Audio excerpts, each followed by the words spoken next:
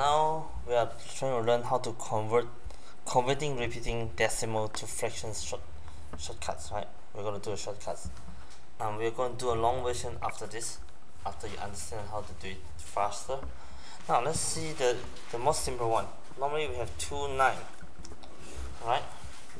It's over 9 it's 2 so you're going to be repeat like point two two two two two two. So it's very easy. So that means if I point two two two two because it's one digit you can say it's 2 over 9 so this also written down as 0.2 bar let's say I have um, a 0.3333 continuous which is equal to 3 over 9 which is equal to equal to one third. Okay? So one repeated. Let's how about two two digits repeated. Point one two three one two three and continuous so this 1 2 3 over because it's 3 digit so it's over 999 then you divide by 3 you got 41 over 333 now how about point 0 5 2 8 0 5 2 8 and continuous. So this will be 528 plus distributed by 4 so it's over 9999 so in this case you notice that 8 plus 2 is 10 plus 5 is 15 divided by 3 you divide them by 3 you got 17 6 over 3 3 3 3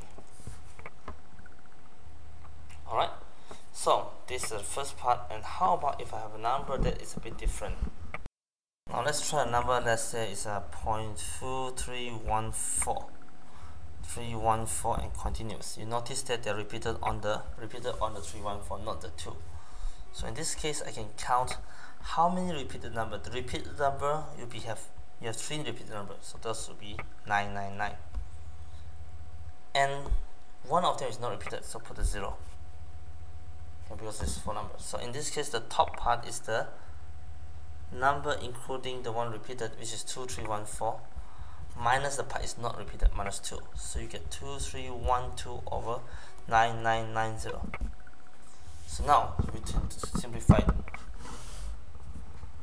So you notice that this number is 3 5 6 7 8 so it's not divided by 9 but it's divided by 2 so divided by 2 you got 11 5 6 over 4995 so I think this is the final answer.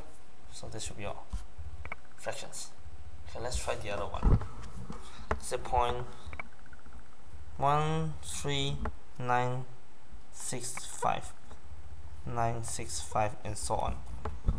So you notice that this is three numbers repeated. So it's 999 and two are not repeated. 0 0 so you have a what this number 13965 minus 13 you have 13952 over 99900 so then you divide by I think can divide by 4 4 3 is 12 4 4 is 16 34 4 8 is 32 5 32 4 8 so divide by 4 4 2 8 19 4 4 16 39 4 9 36 30 4 7 28 and 5 so 16 20 23 so it's not divided by any number. So that's your final answer here. Right? So hopefully this will help will be helpful